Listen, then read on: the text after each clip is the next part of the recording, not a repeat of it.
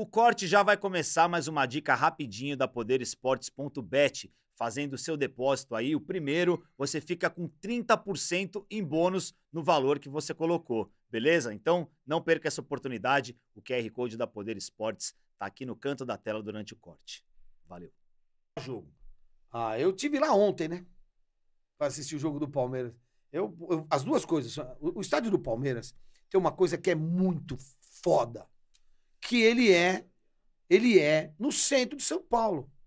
E Você não tem que fazer nada. Você tem metrô, ônibus, é, Uber, táxi, dois shoppings. Dois shoppings, Ele né? fica entre dois shoppings. Você estaciona o carro num shopping ou no outro. Tem o Sonda do lado de cá que você estaciona também. Cara, é, o estádio é, é no lugar perfeito.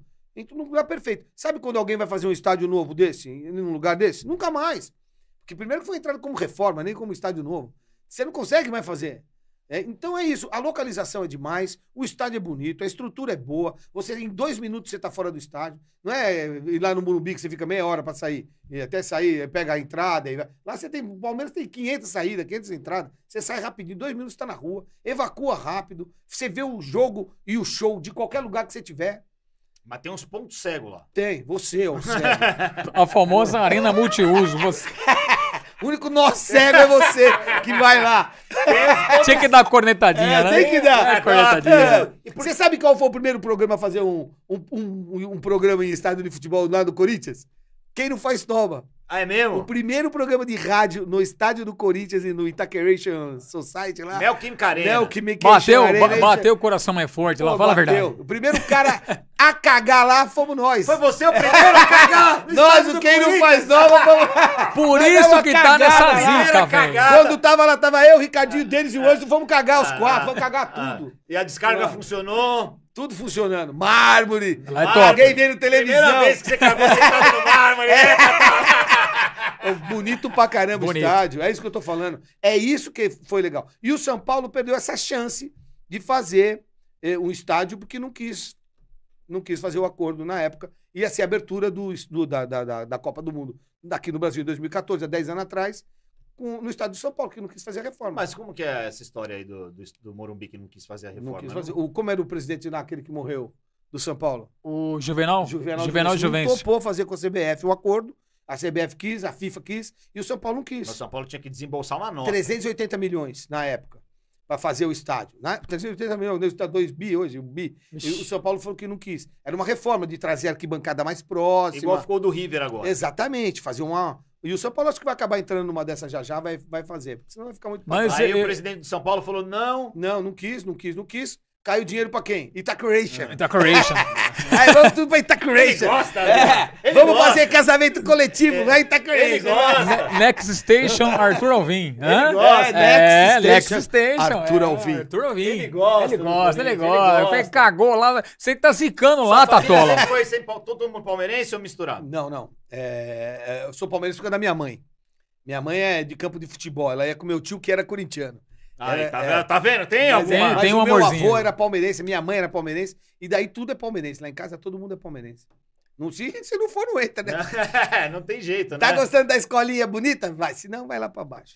Tá querendo viajar? Que praia você quer? Vamos nessa. Você já viu muito time ruim do Palmeiras. Muito. Você já viu muito time bom também. Esse time do Palmeiras que você tá acompanhando agora é o melhor que você já viu? É, eu acho que é o mais efetivo. É o mais ativo. É o mais que, que, que joga pelo resultado mesmo.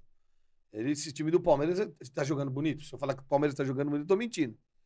Né? E mentiroso eu não, não vou passar, não. Não é. Não, não tá jogando bonito pra caramba, mas é um time que tem resultado. É um time, o Abel não sabe perder. Ponto. Não, mas não é o melhor time do É. Palmeiras que você viu. Não. A Cafu, Roberto Carlos, aquele lá Aquele era de demais, né? 96, talvez, É né? brincadeira. mas Aquele também é o não melhor time pra Ah, você? eu acho que aquele é bom, né? Ele era bonito de jogar, bom, né? jogava bonito mesmo. Antônio Carlos, Cláudio Roberto Carlos, César Sampaio, Mazinho, Zinho, Edmundo, Evair, Edilson, Rincon, todos esses caras passaram lá em pouquinho em épocas diferentes. De Jalminha. Rivaldo, Lu- porra. Luizão, Rivaldo. É. Eles roubaram do Tá Corinthians, o brincadeira, rival. Marcos Roubaram. Porra, aí trouxeram Ainda o não tinha Cafu. Marcos, ainda não tinha É, mas, Marcos. mas depois era o Veloso, Era o né? Veloso. Era o Depois- Veloso. Então, É. mas assim, É, eu acho que tem vários, mas Juro. esse agora é histórico. Você sabe que o. Esse vai pra história. Esse time vai pra história e, pô, Rafael Veiga vai pra história. Dudu vai pra história. Dudu vai se transformar num dos caras mais importantes da história eu, do Palmeiras. Eu ouvi outro dia alguém falando. Paulo não sei se foi Nunes. no programa do. Isso, que é o Dudu, maior jogador da O maior história do jogador da Palmeiras. história do Palmeiras. Você vai- não vai concordar com ele, né? Quase. Ainda não. Mas quem é pra você o maior da história do Ah, Palmeiras? eu acho que o Marcos é legal pra caramba. Ademir da Guia, não Ademir sei. da Guia, mas eu não quero ficar saudosista. Eu queria pra cá. Aham. Se a gente for falar Certo. de. Da TV colorida pra cá, vai. É, da TV colorida É, pra cá. é é. uma boa medição, vai. Eu acho que o Evair é um cara. Jogava muito. Jogava muito. é, sabia que era gol, né? Botava no Evair. Era muito muita técnico, né? O Edmundo é, é marcante demais. Só falando de atacante, né? O Kleber, pô, o Klebão foi demais. Mano. Pô, a gente teve cada, cada jogador, né? Roberto Carlos de um lado, Cafu do outro. Era impressionante. E agora eu acho que o Dudu hoje, junto com o Veiga, é, eles têm um, um caminho muito forte. Mas quem é o maior ídolo da história do Palmeiras pra você? Porra, da história do Vida Guia. Toma né? um gole. não. Ah, Ademir da Guia? Ademir da Guia. é. Continua? Da história. Isso. Da Continua história. o Ademir. É. Pô, eu vi Leão, Eurículos Pereira, Alfredo Zeca, do Ademir da Guia e do Leivinha Cezinei. Eu vi no campo, contra Santos de Pelé, contra Corinthians de Rivelino. Porra, 1974. O Ademir, Você o tava Milton- lá? Você Tava lá em estádio, oito bandeiras do Palmeiras, os gombos do Filha da tudo mãe, do Corinthians. que E raiva, naquele. Ah, cantinho. sempre foi assim. Tinha 11 anos, eu tava no Não, que estádio. raiva que nós ia É. ser campeão, os caras foram lá e Sempre ganhou. foi assim. 1x0 gol de Ronaldo e o goleiro do Corinthians era o Butice. O, o Milton Neves fala um negócio muito engraçado. Um abraço pro Milton Neves aí, Um gente. beijo pra Meu, Milton